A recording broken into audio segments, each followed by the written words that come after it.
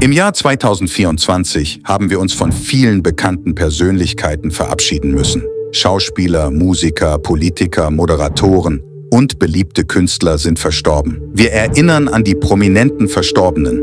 Um kontinuierliche Updates zu erhalten, abonnieren Sie unbedingt unseren Kanal und aktivieren Sie das Glockensymbol. Carl Weathers Carl Weathers sagte am 1. Februar 2024 der Welt auf Wiedersehen. Der Schauspieler, der vor allem als Boxstar Apollo Creed in Rocky bekannt wurde, verstarb am 1. Februar im Alter von 76 Jahren. Seine Familie gab seinen Tod in einem Statement bekannt, das unter anderem Deadline vorliegt. Sie schreibt, dass Weathers friedlich im Schlaf gestorben sei. Aston Barrett Aston Barrett, Bassist der legendären Bob Marley Band The Wailers, ist tot. Der Musiker starb Anfang Februar 2024 im Alter von 77 Jahren in einem Krankenhaus in Miami im US-Bundesstaat Florida, bestätigte die jamaikanische Kulturministerin Olivia Grange.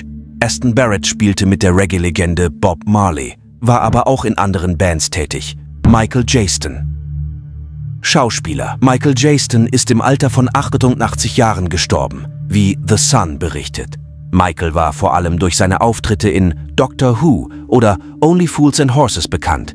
Toby Keith Country-Sänger Toby Keith ist am 5. Februar 2024 verstorben, wie seine Familie auf Instagram bekannt gab. 2021 wurde bei ihm Magenkrebs diagnostiziert. Jetzt hat er den Kampf gegen die Krankheit verloren. Keith wurde mit Hits wie Should Have Been a Cowboy bekannt. Er wurde 62 Jahre alt. Damo Suzuki. In den 1970er Jahren wurde Damo Suzuki mit der Rockband Can bekannt, die sich durch ihren improvisierten psychedelischen Gesang auszeichnete. Nun ist die Musiklegende im Alter von 74 Jahren an Darmkrebs gestorben, wie Can auf Instagram mitteilte. Nach dem Ende der Band spielte er noch in verschiedenen Bands und gründete sein eigenes Label Damos Network. Bereits mit 33 Jahren erkrankte der Sänger an Darmkrebs und 2014 ein zweites Mal. Nun starb Damo Suzuki am 9. Februar durch die Krankheit. Pablo Grant, Schauspieler und Musiker. Pablo Grant ist verstorben. Das gab seine Familie auf dem Instagram-Account Rap-Kollektivs BHZ bekannt. Der Künstler, Schauspieler, Musiker und Teil von BHZ, Pablo Grant, ist am 6. Februar unerwartet im Alter von 26 Jahren an den Folgen einer Thrombose verstorben. Die Familie und Freunde des Verstorbenen sind untröstlich und bitten bis auf weiteres darum, die Privatsphäre zu respektieren und in dieser schweren Zeit von Kontaktaufnahme abzusehen. Grant war neben seiner Musikkarriere auch in zahlreichen TV-Serien zu sehen. Bei Polizeiruf 110 verkörperte er seit 2020 Günther Marcus.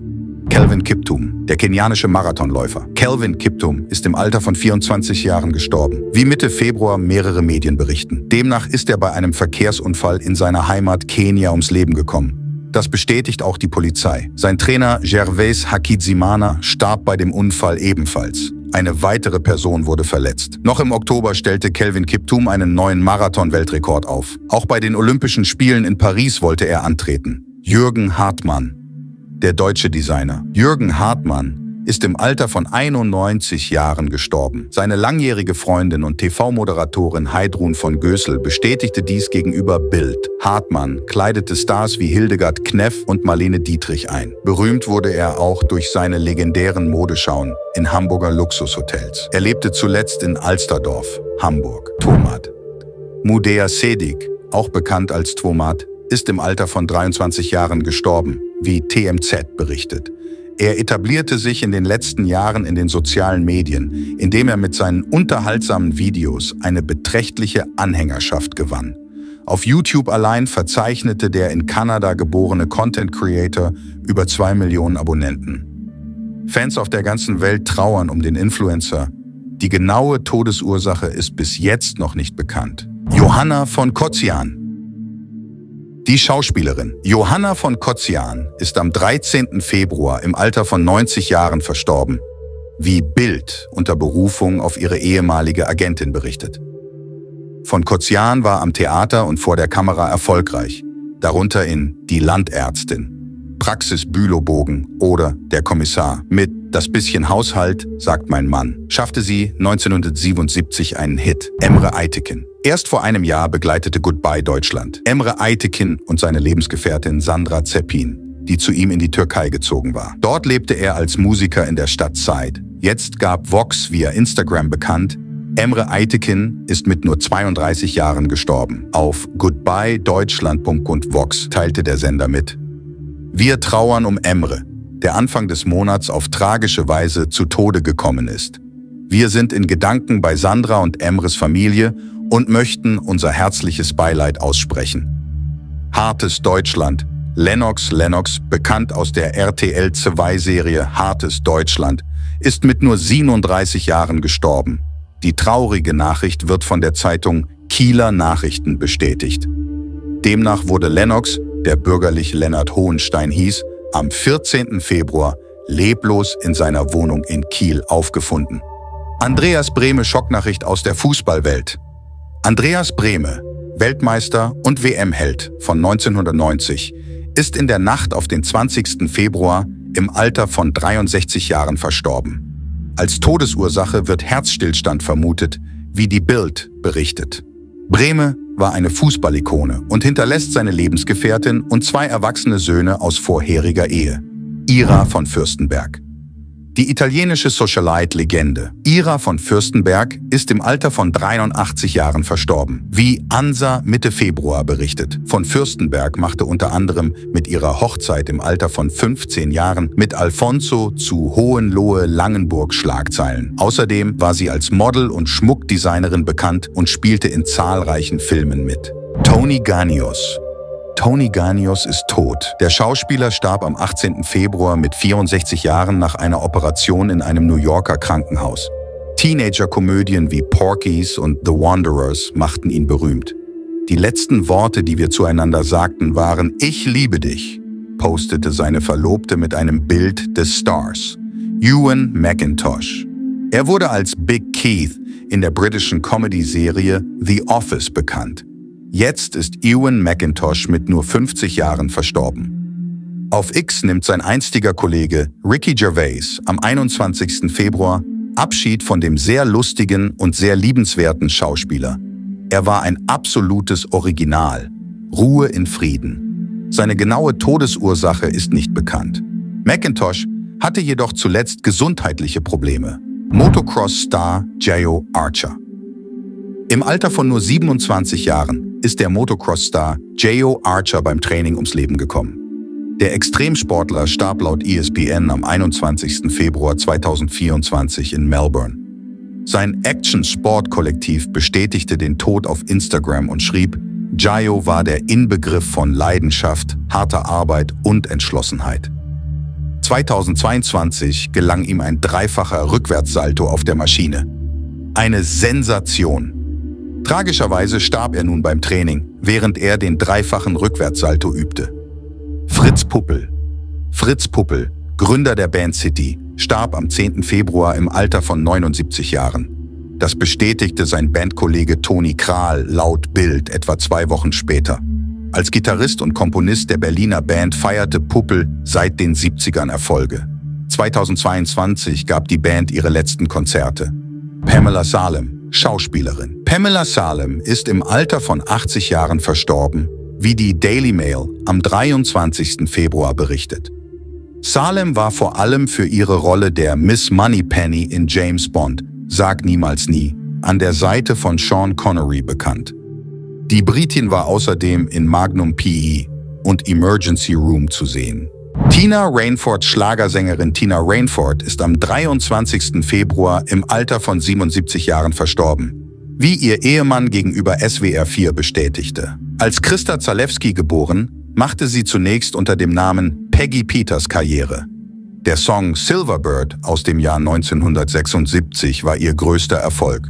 Zu der Todesursache von Tina Rainford ist nichts bekannt. Horst Naumann. Horst Naumann ist am 19. Februar verstorben.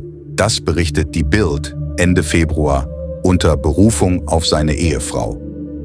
Lynn Naumann sagte demnach der Zeitung, Mein Mann ist ganz friedlich zu Hause eingeschlafen.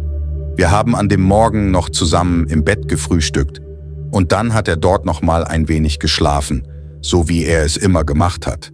Irgendwann hörte er auf zu atmen. Ich war dabei. Er ist einfach rübergeschlafen. Der Schauspieler, der sich vor allem durch seine Arztrollen bei der Schwarzwaldklinik und dem Traumschiff einen Namen machte, wurde 98 Jahre alt. Chris Gauthier, Smallville, Star. Chris Gauthier ist am 23. Februar unerwartet im Alter von 48 Jahren gestorben. Chris Gauthiers Tod wurde von seinem Manager gegenüber dem US-Magazin TV Line bestätigt. Dieser berichtete, dass der Schauspieler plötzlich und unerwartet nach kurzer Krankheit gestorben sei. Die genaue Todesursache ist nicht bekannt. Kenneth Mitchell Schauspieler. Kenneth Mitchell ist am 24. Februar im Alter von 49 Jahren verstorben, wie seine Familie via Instagram bekannt gab. Der Star Trek Discovery Darsteller litt an der unheilbaren und degenerativen Nervenkrankheit ALS, Amyotrophe Lateralsklerose. 2018 bekam er die Diagnose und war seit 2019 auf einen Rollstuhl angewiesen. Er hinterlässt seine Frau und zwei Söhne. E. Duke Vincent Charmed Produzent. E. Duke Vincent ist im Alter von 91 Jahren gestorben. Das bestätigte seine Frau via Facebook. Mit tiefer Trauer informiere ich euch über das Ableben meines geliebten und brillanten Ehemannes E. Duke Vincent, einem legendären Blue Angel, einem mit dem Emmy ausgezeichneten Fernsehproduzenten und Autoren und einem versierten Romanautor. E. Duke Vincent soll bereits am 10. Februar in seinem Haus in Montecito, Kalifornien, verstorben sein. Zu seinem Todesumstand ist nichts bekannt. E. Duke Vincent arbeitete als Produzent für Serien wie Charmed oder Beverly Hills 9210. Thomas Kingston, Thomas Kingston, Ehemann von Lady Gabriella, ist mit 45 Jahren verstorben. Das gab der Buckingham Palast am 27. Februar bekannt. Es heißt, mit tiefem Bedauern geben wir den Tod von Thomas Kingston, unserem geliebten Ehemann, Sohn und Bruder, bekannt. Tom war ein außergewöhnlicher Mann, der das Leben aller, die ihn kannten, erhellte. Sein Tod ist ein großer Schock für die ganze Familie und wir bitten unsere Privatsphäre zu respektieren, während wir seinen Tod betrauern. Die genaue Todesursache ist nicht bekannt, ein Fremdeinwirken oder verdächtige Umstände werden jedoch ausgeschlossen. Laut Medien wurde er Sonntagabend, 25. Februar, in Gloucestershire tot aufgefunden. Tom Kingston und Lady Gabriella, Großnichte von Königin Elizabeth, Plus, waren seit 2019 verheiratet. Zuvor war der Finanzier mit Kates Schwester Pippa Middleton liiert, Fabian Schulze. Traurige Nachrichten. Der ehemalige Stabhochspringer Fabian Schulze ist im Alter von 39 Jahren gestorben. Seinen Tod bestätigte der Deutsche Leichtathletikverband. Am vergangenen Sonntag ist der frühere Stabhochspringer Fabian Schulze wenige Tage vor seinem 40. Geburtstag in seiner Wahlheimat Sonthofen an einer tückischen Krankheit verstorben. Unser Mitgefühl gilt seiner Familie und allen, die ihm nahestanden, heißt es in dem Statement, das auf der Plattform X veröffentlicht wurde. Richard Lewis, Comedy-Legende. Richard Lewis ist tot. Das bestätigt sein Sprecher Ende Februar gegenüber Deadline. Demnach starb Lewis im Alter von 76 Jahren nach einem Herzinfarkt. Erst im April 2023 machte er seine Parkinson-Erkrankung öffentlich. Richard Lewis war unter anderem bekannt aus der Serie Lasses Larry oder den Filmen Robin Hood, Helden in Strumpfhosen und Leaving Las Vegas. Charles Dierkop. Am 25. Februar verstarb US-Schauspieler Charles Dierkop im Alter von 87 Jahren. Das bestätigte Tochter Lynn Tage später gegenüber dem US-Magazin The Hollywood Reporter. So sei er an den Folgen eines Herzinfarkts und einer Lungenentzündung gestorben. Charles Dierkop wurde durch seine Rollen in Zwei Banditen und Der Clou weltweit bekannt. Cat Janice Große. Trauer um Cat Janice. Die Sängerin verstarb mit nur 31 Jahren an den Folgen einer Krebserkrankung. Das machte die Familie auf ihrem Instagram-Profil Ende Februar 2024 öffentlich. In dem Statement hieß es, Cat erlebte, wie ihre Musik an Orte gelangte, mit denen sie nie gerechnet hätte. Sie ruht in der Gewissheit, dass sie durch ihre Musik weiterhin für ihren Sohn sorgen wird. Ohne euch alle wäre dies nicht möglich gewesen. Bei ihr wurde 2021 ein Sarkom, ein seltener bösartiger Tumor entdeckt. Sie wurde behandelt, bekam Chemotherapien, galt zunächst als krebsfrei, doch er kam zurück. Jetzt ist Cat Jennings an der Krankheit verstorben. Paolo Taviani, der italienische Regisseur. Paolo Taviani starb am 29. Februar 2024 im Alter von 92 Jahren, wie die Präfektur seiner Heimatregion Toskana bestätigte. Italienischen Medienberichten zufolge ist er nach kurzer, schwerer Krankheit im Kreise seiner Familie in einem Krankenhaus in Rom friedlich eingeschlafen. 2018 war sein Bruder Vittorio gestorben. Die beiden Brüder gehörten zu den wichtigsten Filmemachern Italiens in den vergangenen Jahrzehnten. Craig Rowe, traurige Nachrichten aus der Footballwelt. Sportler. Craig Rowe ist Ende Februar 2024 mit nur 33 Jahren an Darmkrebs verstorben. Das bestätigte seine Frau Chelsea bei Instagram. Dort heißt es, ich wollte all seine Follower wissen lassen, dass Gott Craig nach einem 18-monatigen Kampf gegen Darmkrebs im vierten Stadium am Montag, dem 26. Februar, nach Hause geholt hat. Iris Apfel Mode-Ikone.